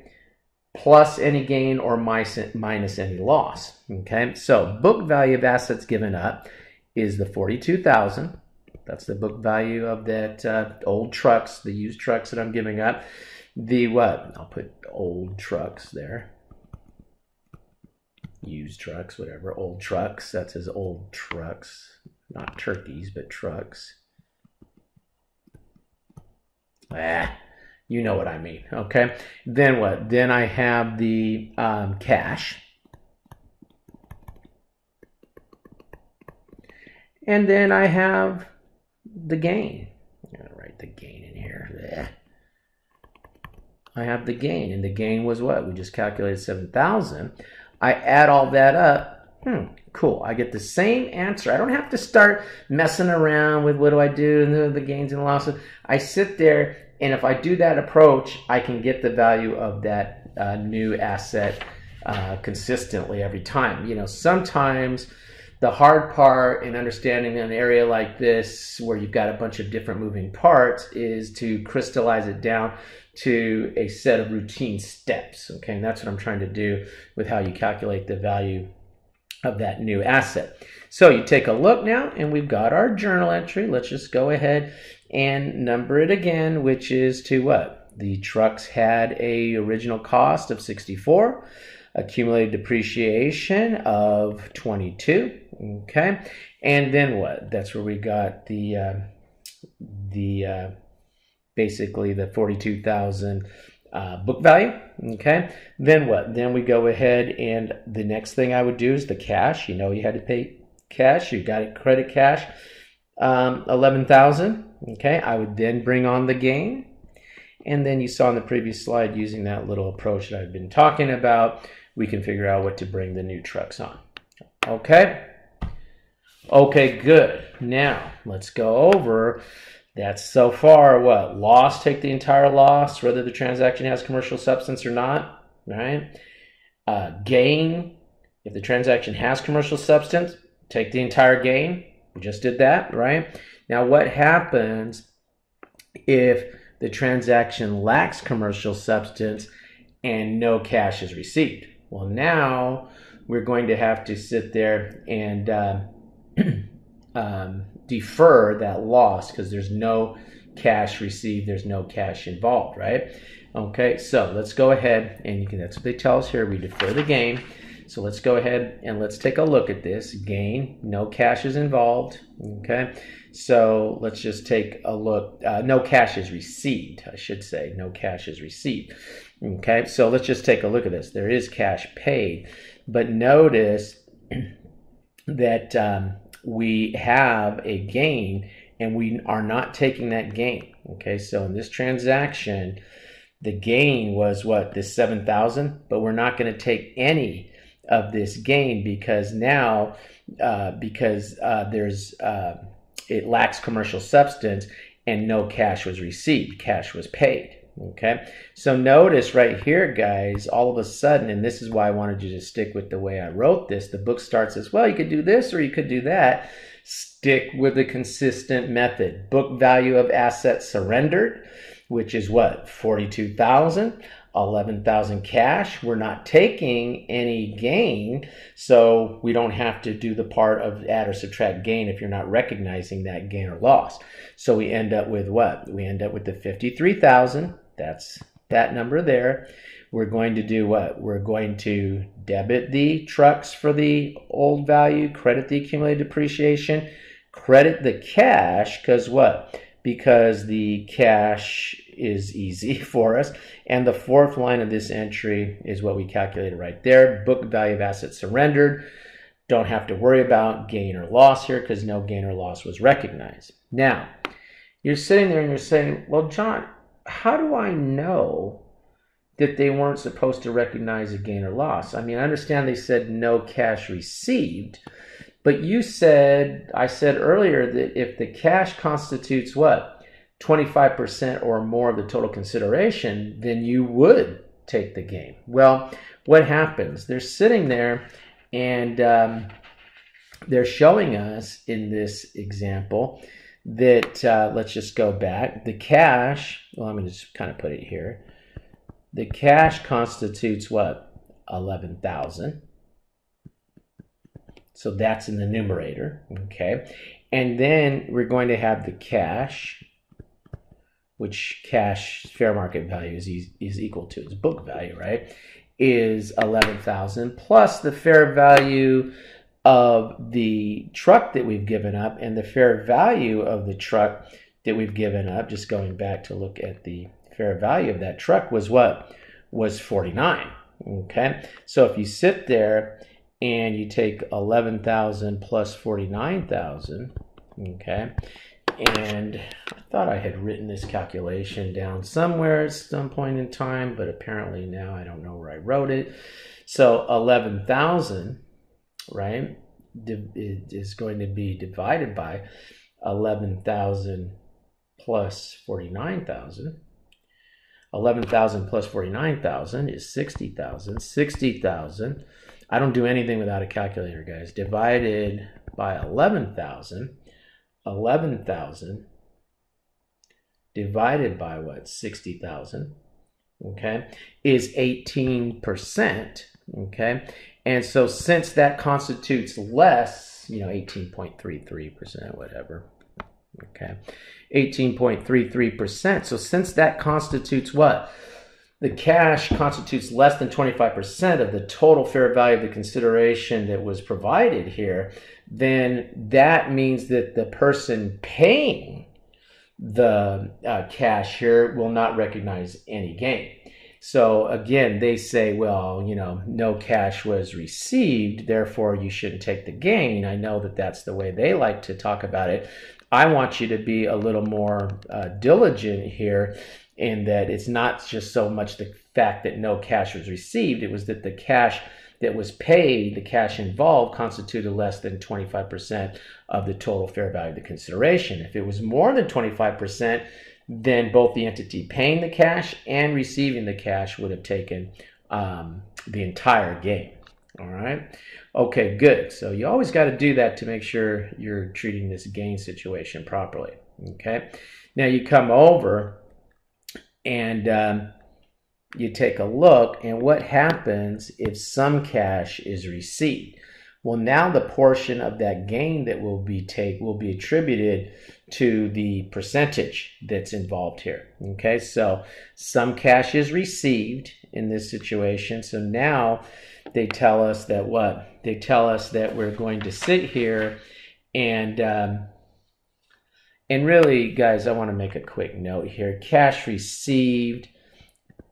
You should really put involved, cash received, involved because again, if the cash involved in the transaction constitutes more than 25%, 25% or more of the total consideration, then both parties should take the entire gain, right?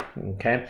And um, let's just go ahead though, and let's just take a look at uh, how we're going to make this calculation. So we have what? We have a machine that we gave up, had fair value of 100,000. Book value is what? Book value is 60, so we've got a gain here of 40,000.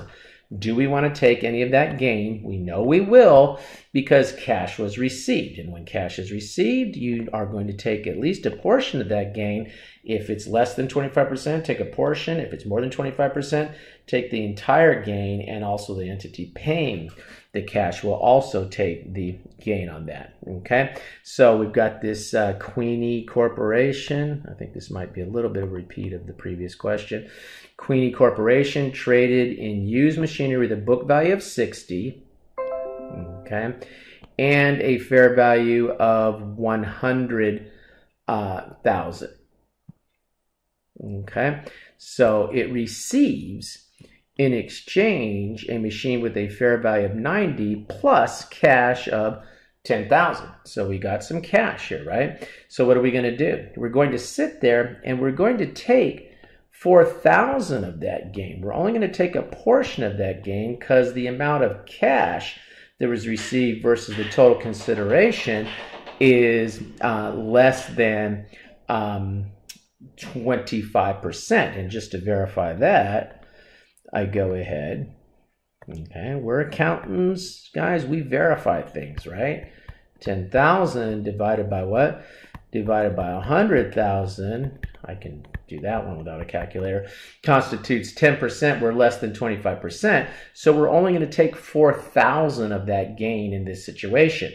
The entity paying the cash now is not going to take any gain. They only start taking gains on transactions that lack commercial substance when what? When the amount of cash involved in the transaction uh, is 25% or more of the total consideration. Okay, so we go ahead and um, they tell us here, uh, you know, the uh, 60,000 um, um, well, I, I, don't like the way they're doing this, so I'm not going to get into this calculation. I just want to show you. Remember, we have to figure out how to bring on the new machine, what value to bring it on, and our approach has been what book value of the assets given up um, plus any gain minus any loss. Is that our rule? Okay, so what happens? Well, I know that the book value of whatever the machine was, whatever we're dealing with here, old machine, okay, was 60,000. Okay, now this is where you got to take my rule and twist it a little bit. We, though, did what? We turned some of that machine into cash. Okay, we had a book value of 60,000. We gave up what? We gave up the machine and we did turn some of it into cash. So if you do that, then you could take the cash received, which was 10,000. Okay. And you go ahead and now the net book value of old machine, the net book value, if you will, of the asset we surrendered is what? 50,000. The rule is plus the gain that we recognize, the rule I had you write in, was 4,000. We should bring the new truck in at 54,000. Okay, so yeah, that's what they did up here. Again, I like doing it this way because it keeps me consistent from situation to situation on how I'm going to calculate the value of the new asset that comes in. Okay, so now I can do my journal entry. Okay, which is what? Take the old machine off, take off the accumulated depreciation of the old machine, right? Book in the cash that's come in, and then the fourth line is to bring in the uh, the new machine. Uh, actually, way they did this like this. The gain is going to be my fourth line, which is the amount of gain that I determined to recognize based on that ratio of cash to the total fair market value of the consideration involved in the transaction. And then that fifth line is going to be uh, what I just calculated to bring in the new, new machine. Again, I'm hoping you don't have to get into making a full journal entry every time you're trying to calculate the value of the new machine. I'm hoping you can use that approach that I told you to have been showing you. But by the same token, um, you know, if you run into trouble, you could put together this journal entry, I think, pretty easily and uh, be in good shape to be able to uh, answer the question of the value of the new machine. Because I might ask you that in just a multiple choice question. Okay. All right, good. Okay, you can summarize the rules here. It's pretty much what we talked about. You can see these rules this is probably a good slide for you to, you know, have handy and available for when you take your exams and stuff, um, which goes through the steps. But I think these examples are helpful. Okay, so what I'm going to do is go ahead and I'm going to take a little break on my end. Okay. And so, for your purposes, you might want to take a break right now. Um, but bottom line, um, you can just see that in a couple seconds, uh, we will continue on. Okay, but I'm to just pause this for a second.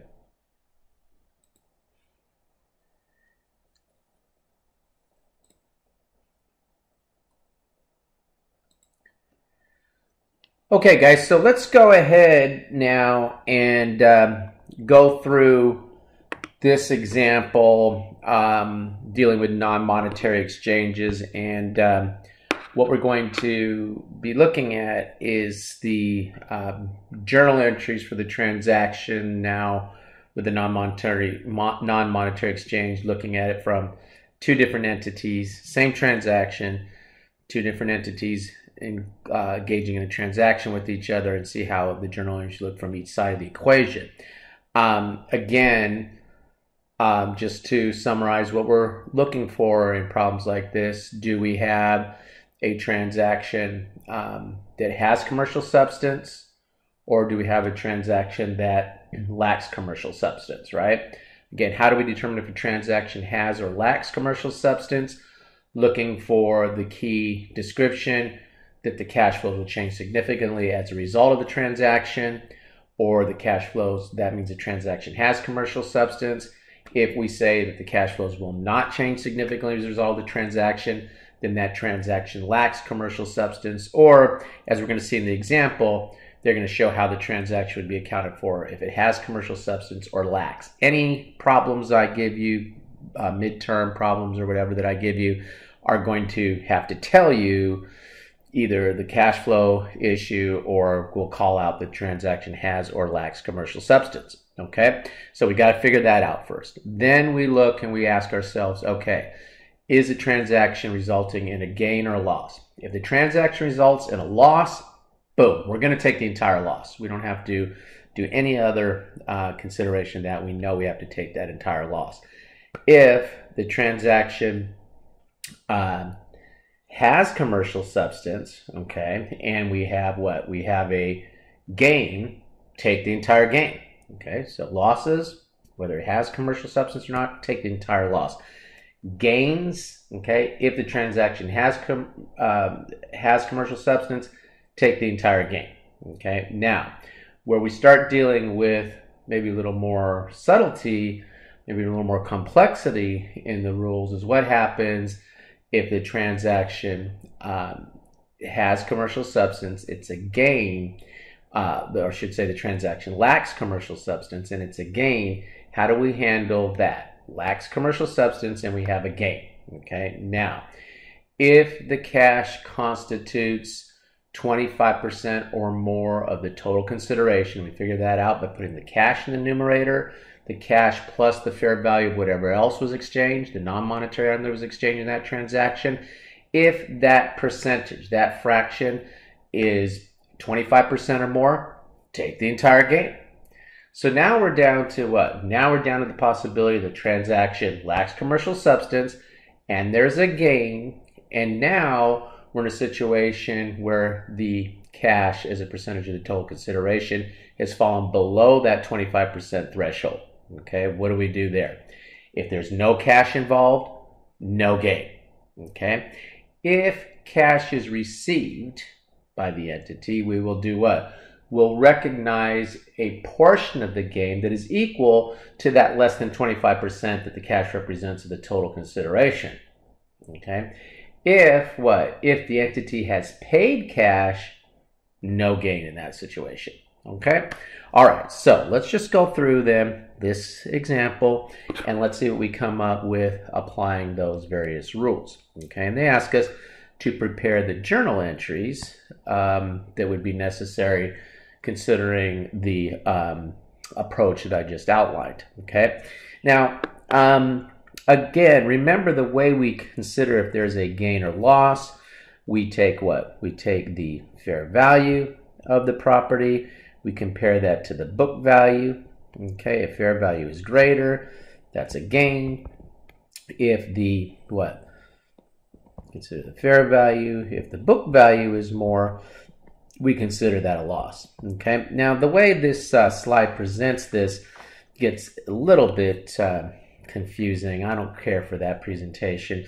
So I'm just going to show you the way I would do this. I've got the fair values of the two respective pieces of equipment right here. For the Santana equipment, the fair value is 13.5. For the Delaware equipment, the fair value is 15.5.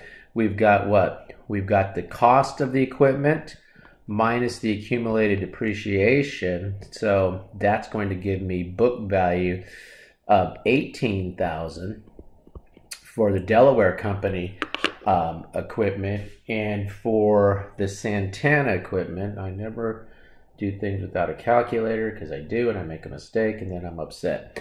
28,000 for the equipment minus the 19,000 the accumulated depreciation gives that one a book value of 9,000 okay so we go ahead then and let's just take a look at that previous slide.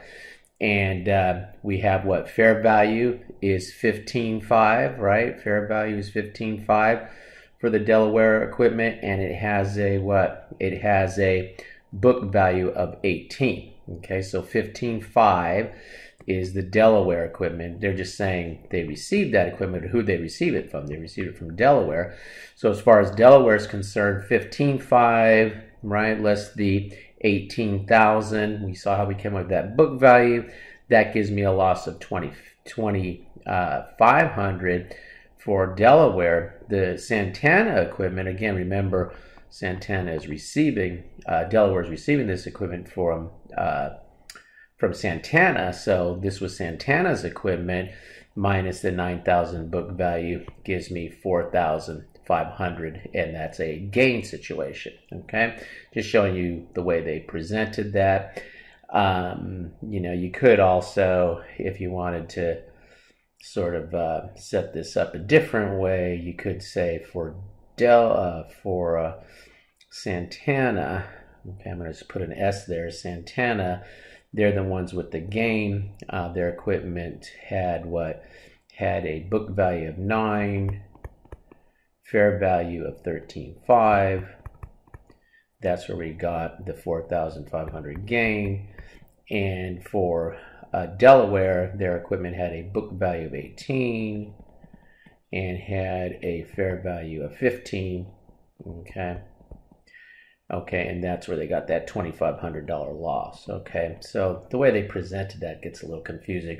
That's the way I would come up with those numbers. Okay, so we know now we have a gain, we have a loss. Let's see how we're going to apply these now, going through the scenarios of having commercial substance, not having commercial substance, etc., and see how that's going to affect our journal entries. Okay, so if the transaction has commercial substance, we know we're always going to take the entire loss. Okay, so let's just go ahead and start out with Delaware. We know they had a loss. We know we have to take that loss, right? Okay, Delaware had the loss. Just going back, Delaware, right? Delaware, I should have put a D there, is a company that had the loss, right? So we know they have to take the entire loss, the loss rule, right? Have to take the entire loss. Now we want to figure out how how we should uh, value the new equipment. Okay, remember I say it's the what book value of the items that were given up plus any gain or minus a loss. So we have a loss here. So the book value was 18,000 for that equipment, right? Just go back again, make sure we're sure. Okay, right? Delaware had the loss. The book value of their equipment was 18. Okay, so they had 18,000 there that they gave up. Now, this is the situation we have to look at a little bit different. They turn some of that 18,000 though into what? Into cash. Okay, so when cash is received, you're going to go ahead and subtract the amount of cash that was received off of that to come up with the value because some of that equipment that they gave up, they turn into cash, right? So then we're left with what? We're left with a net for the uh, book value of the asset surrendered of 16, right? Had some asset come in, some go out. The net book value of the assets surrendered, I should say, 16. And then what are you supposed to do? You're supposed to go ahead and subtract the loss, 2,500. And that gives me what? That gives me the 13.5 here. Okay, 13,500. That's how we value the equipment. Then what? Then we go ahead and we finish the rest of this journal entry. Okay, so what happens? First thing I would do is debit the uh, credit the equipment for the original cost, debit the accumulated depreciation to get it off the books. I go ahead and I do my cash next. They receive cash, so we're going to go ahead and debit cash. 2000 we calculated the loss a minute ago on the previous slide so I would go ahead and debit that loss. And then the fifth part of that journal entry maybe the hardest part if you couldn't come up with this which I think if you take the approach that I'm talking about that is even pretty easy but you would go ahead and maybe uh, balance your journal entry by the equipment okay? Okay good. Let's go ahead and let's take a look at um, the commercial, the transaction has commercial substance. We're going to take the entire gain. Santana was the company that had the gain, right? So now how do we come up with the value that they should put for the equipment? It's the what? It's the book value of the assets surrendered. So they gave up a piece of equipment that had a book value of nine. Okay. Then what? Then they had the cash that they gave up that had a book value of 2000 book value of assets surrendered right? And then we go ahead plus any gain minus a loss if we had a loss we add that up and that gives us this 15.5 that's the amount that we put in for the equipment right? Okay so then again we go ahead and build the journal entry. They got rid of the equipment that had original cost of 28 the accumulated depreciation was 19 right? Okay then what they had to pay cash, so I put the cash in there. I calculated the gain on the previous side, so I know I have to credit the gain. And then the fifth part of that journal entry would be for the equipment. Okay, so I'm just showing you systematically how to go about these. We looked at this in the earlier example, and now we're just applying those rules again to this scenario. Okay, so now we have what? Now we have the situation with Santana if the transaction has commercial substance, transaction lacks commercial substance. So this is the same thing that we just saw a minute ago on the previous slide for Santana where we said the transaction had commercial substance. Let's that compare that now to the situation where it does not lack commercial, um, where it lacks commercial substance. And when it lacks commercial substance, now we have to go through the process to say, okay, um, we're now in a situation where we're not going to take any gain on that because the transaction lacks commercial substance.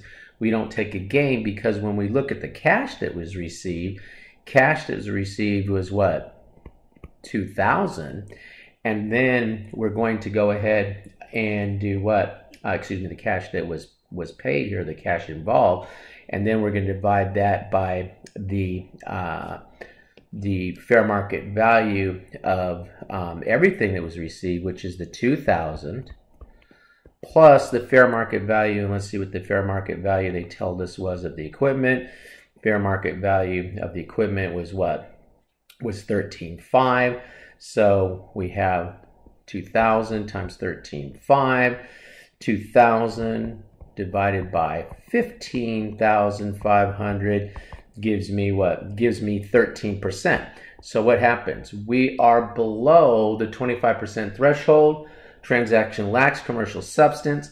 No cash was received, right? We paid cash. We don't take any gain on that, okay? So when we sit here and calculate, well, how are we going to deal with the equipment? Again, I like to take the approach of the book value of the assets that were surrendered. So, what was the book value of the assets that were surrendered? And so, again, you look as we calculated earlier, we had what? We had the book value of the asset that was surrendered was nine, and then the book value of the cash was two, right? So you apply that rule. Book value of the equipment was nine, book value of the cash was two. That's how they got that 11,000. That rule always works, okay? To do the rest of the journal entry or to figure out the rest of the journal entry, easy enough. Credit the equipment to get the equipment off the books, debit the accumulated depreciation to get the accumulated depreciation on the books I should say off the books there. Then we go ahead, we credit the cash for the cash that we paid. And the last thing we would do in this journal entry, the fourth line would be to uh, come up with the equipment. Again, if you use that approach of the book value of the asset surrendered plus any gain minus any loss, there was no gain or loss there. So it's just the 11,000. Okay. Again, looking at it from Delaware now, if we lack commercial substance, Delaware had a loss. So Delaware has to do what? Delaware has to take the entire loss. Loss rule, take the entire loss, right? Okay, so that's easy enough. Now we just want to figure out what to bring the equipment on. And the equipment is going to be what? The book value of the uh, asset that was surrendered here. And so the book value of the asset that was surrendered gives us that 13.5 we get rid of the accumulated depreciation. So we'll do our journal entry. First, we get rid of the equipment. Then we get rid of the accumulated depreciation. We know we have to take the cash that's come in. We take what? We take the uh, entire loss. And then that last piece is the equipment, the 13.5. The book value of the uh, asset that was surrendered here um, was going to be that uh, that equipment, the net book value of the equipment. Okay. Okay. Um, I mean that's pretty much uh, pretty much it for how we're going to deal with non-monetary transactions. All right. Okay. Good. So let's go ahead then and uh, move into our last couple of areas here. Just uh, what we're going to do here is discuss how to deal with an asset after you've had that asset for a while and now you start trying to make improvements, etc., additions to that asset, repairs to that asset, how should you handle those? Okay, so this is subsequent to acquisition. So let's go ahead and let's take a look. And uh, when we look, we can see that in general, cost incurred, to achieve future greater benefit should be capitalized, whereas expenditures simply maintain the given level of service and those should be expensed. Okay, so what they're really talking about there are, and I should probably put the word routine repairs. Okay, so what happens? You have a vehicle. You have to repair a flat tire. Well, that's a routine, normal repair. You don't have to capitalize the cost of that tire by debiting asset. You would simply debit expense, credit the cash that you paid for the repair of that tire. Okay. Conversely, if you do what? If you did something like had a um, extraordinary repair,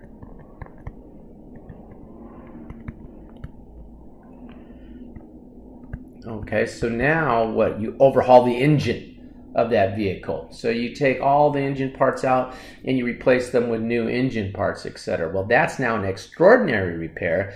So instead of sitting there and debiting expense, you would do what? You would debit the asset account. You would capitalize that. When we say capitalize, we mean debit the asset account.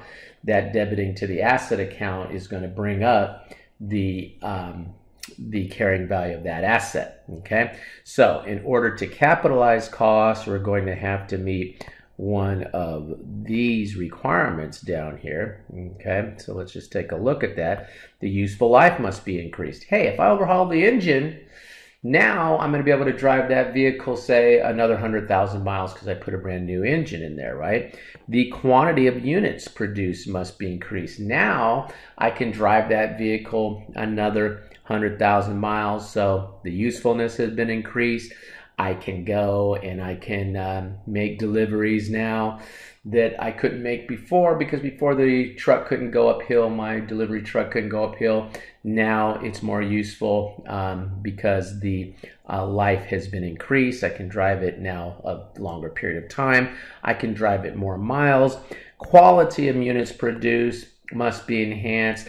And so I can now, and it doesn't have to be all three, it only has to be one of the three, but now just to go on with that delivery truck example, I can use it for long uh, distance deliveries, etc. Okay, okay, good. So we come over, and when we look at costs subsequent to acquisition, we can have an addition. Hey, we added a wing to the building, capitalize it improvements or replacements. We replace the engine. Uh, we put a better engine, a more high performance engine. I don't know if you have a delivery truck with high performance, but whatever. We have a high performance um, engine in there now because we want to drive fast and perform well in our delivery trucks. Kind of silly, but it's going to be an improvement. Capitalize that. Okay. Rearrangement, reinstallation. Okay. So we're going to move it from one location to another. We're going to move it around the factory. Capitalize that. Repairs are expenditures that maintain the asset for a condition or operation. Again, changing the oil, you don't capitalize that, you would expense that. Okay?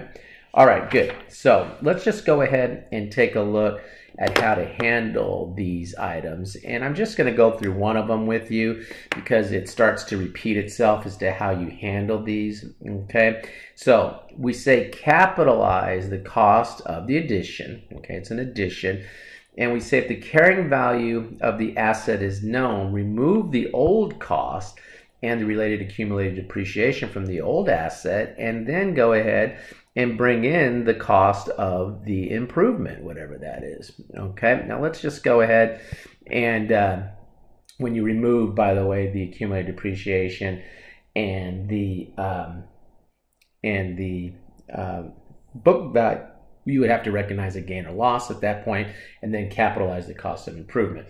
So let's just see well, what do they mean that carrying value is known? So let's say I buy um, an asset and I have its carrying value sitting there, I get rid of it. I'm going to go ahead and I'm going to do what? I'm going to take off the old book value, debit the accumulated depreciation, credit the asset, recognize any gain or loss, and then bring the cost of the new asset on. Easy enough. But here we say the carrying value is unknown. And you're like, well, how would the carrying value be unknown? Well, let's say I buy a building and it has a roof on it when I buy it, and then I have to replace the roof. Well, I don't know what the carrying value of the roof was because when I bought the building, the roof was there. I don't know what the carrying value of the roof was. So what do I do? In that case, I wouldn't know the carrying value of the roof that I just replaced on my building. And so they tell us if the asset life is extended, then debit the accumulated depreciation for the cost of the improvement, thus bringing up the carrying value of the building. And they tell me to do that because if I put a roof on a building, I probably have extended its useful life, right? Okay. Now we say if the quantity or quality of the asset is increased, then take the cost of the uh, addition, replacement, improvement, and put that what put that into the asset account. So now the cost of that roof, if I somehow knew the book value of that roof, the cost of that roof would be of the new roof would be added to the carrying value uh, by increasing the asset account directly. Okay. Okay, good. So I'm not going to go through each one of these because they start the same thing over again. Rearrangement, reinstallment, if it's known, unknown. Uh, repairs, if it's ordinary, as we've already said, expense it. If it is major, then go ahead and uh, treat that as an addition. Go ahead and capitalize it, debit the cost of that repair to the asset account. Okay? Okay, good. That takes us up now to um, how to deal with our uh, sale uh, of our property, plant, and equipment. Okay, and we've been dealing kind of already with exchanges.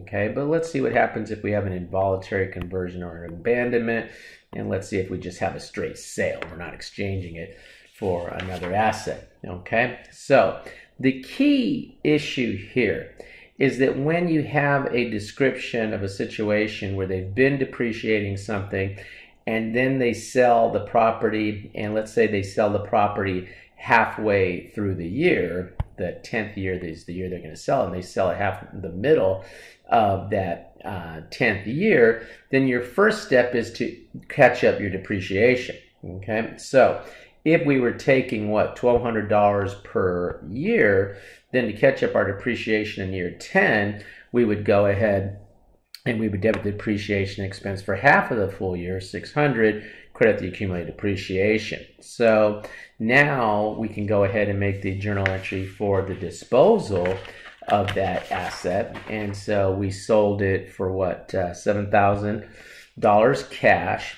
okay? And so what are we going to do we're going to go ahead and debit the cash for 7000 obviously.